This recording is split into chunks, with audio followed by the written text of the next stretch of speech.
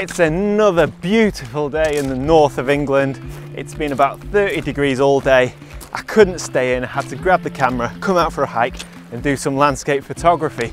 Now, you eagle-eyed viewers may recognize this area from a few weeks ago or last month. I hiked up to the summit of Great Gable and had a lovely evening. Well, I'm doing the same hike and I'm going to the same location. Not only to get familiar with the hike and familiar with the location, but also there was so much to be had from that spot that I just had to return. And as well as that, I have returned with the large format 4x5 camera. So very much looking forward to this.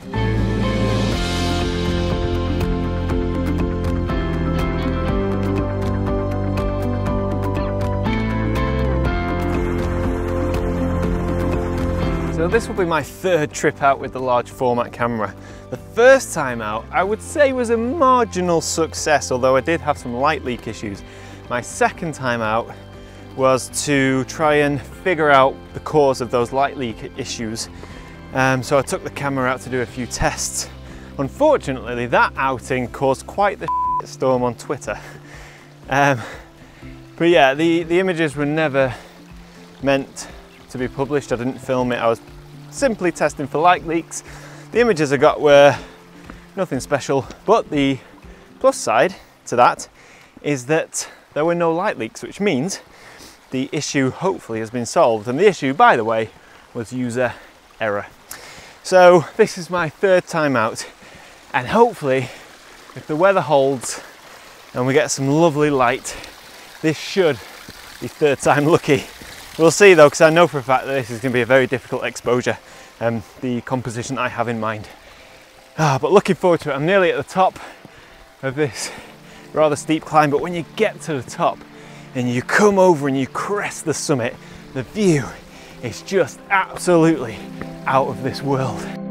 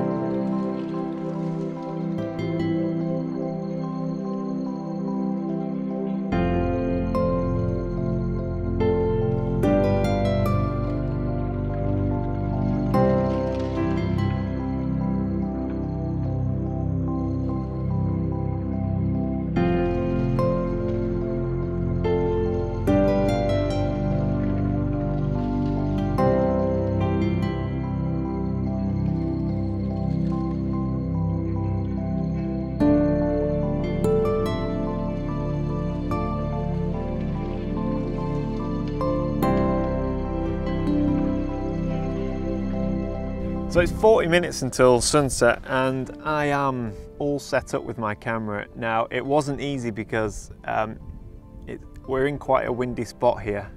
In fact the name of the location where we are is called Windy Gap. So I should have known, I, sh I should have known. Um, but I was optimistic that there wouldn't be any wind because it's been such a lovely calm day. I'm just sticking with one composition this evening and I'll probably shoot it as the light changes exposing both Velvia 100 and Kodak Ektar 100. Now this is all still a learning process for me, so I want to expose as much film as I can in different circumstances, uh, different types of light with different settings and just, just try and get a feel for how the film reacts to different types of light. So although I'm only shooting one composition here, I'm actually gonna maybe expose it four times, maybe even more. We'll see how we get on as the light changes. Um, and we'll just we'll just see but uh, looking forward to it. the composition I've got is just lovely it's looking straight down the valley we've got the prominent mountains to the left which fall off just fade off um, into the thickness of the atmosphere and then we have the river on the right hand side which really helps pull the eye into the frame. And I'm hoping that the sky this evening should go get some lovely colour. Um, and then it'll be up to me to try and capture all of that in the film. So uh, a little bit nervous, a little bit apprehensive, but also quite looking forward to this. So um, it's just a case of waiting patiently for the light. But what a spot, what a spot to wait patiently for the light.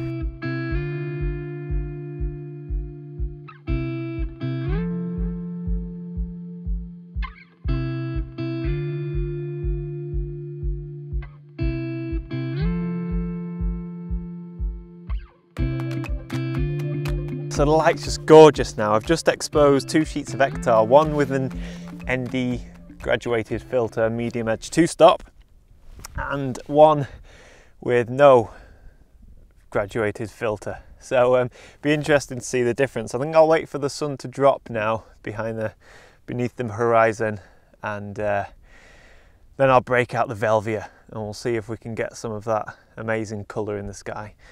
So yeah, um, it's a shame about the wind, but other than that, I'm hoping it's going okay. Um, as always, with film, and because I'm new to film, I am 100% convinced I've messed this up.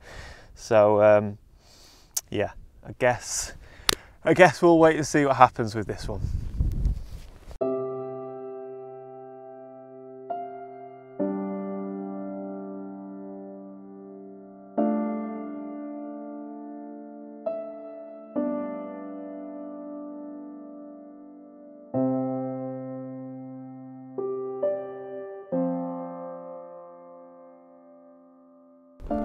So the sun's just about to drop below the horizon. Unfortunately, the wind hasn't dropped. It's still going strong. Um, I'm going to keep my two-stop ND grad filter on. It's a medium edge um, because I'm going to shoot some Velvia now, which has a much lower dynamic range, um, only about five stops. So this image, or the next couple of images, should be really contrasty um, and hopefully the film will really help pick out the colours um, and, and, you know really punch up and add saturation to the colours. So looking forward to this. Um, we'll get these images done and then I think we'll head down. F32, one second.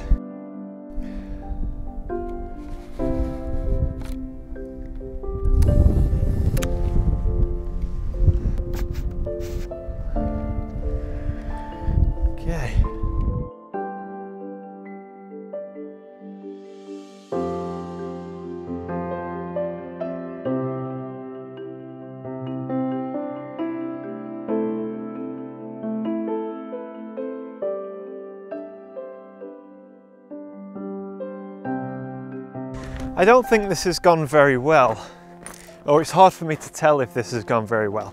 Um, we had a gorgeous, gorgeous sunset, and if I had my 5D4, would have had a great video, I would have definitely got some stunning images, which begs the question, why on earth am I shooting film? Well, I believe that once I get to grips with the whole large format film process, and become more efficient and have a greater understanding of it and the different film types, um, I think they will yield much higher image quality, an image quality that can't be matched by digital. But not just that, I really, really love the craft and the learning and the hands-on with just a wooden camera, some glass and some film. There's no electronics or anything like that. And that, the process is for me why I'm learning this and why I'm doing it. Uh, this evening, so uh, it, it, was windy. It's the worst, the worst conditions to shoot in large format of wind. You saw my camera turn into a cape. The the lens hood, uh, the dark cloth flapping about. That was, you know, that's just one example of why it's difficult. And when I'm making these videos and trying to concentrate on the photography, it's very difficult. For those of you who drive, um, when you first learn to drive, you think about everything. Uh, your clutch, your accelerator, your gear stick, everything, um, indicating, mirrors, um, and you're thinking about so much. So it's difficult to think about anything else. And it's the same with large format photography. I'm constantly thinking, okay, is the darks, is the dark slide in, is the film, is it the right way round, is my shutter closed, is the aperture closed, is the shutter cocked? Um, so much to think about. Um, And then it makes filming these videos much more difficult. Again, who knows what the images are like? I don't know. I haven't got a clue. So um, I always find it quite funny that you guys will have seen the images in this video before I even have a clue right now what they look like. And that's that's that's always funny for me. So thank you so much for watching. Um, I appreciate it, and I hope you enjoyed it.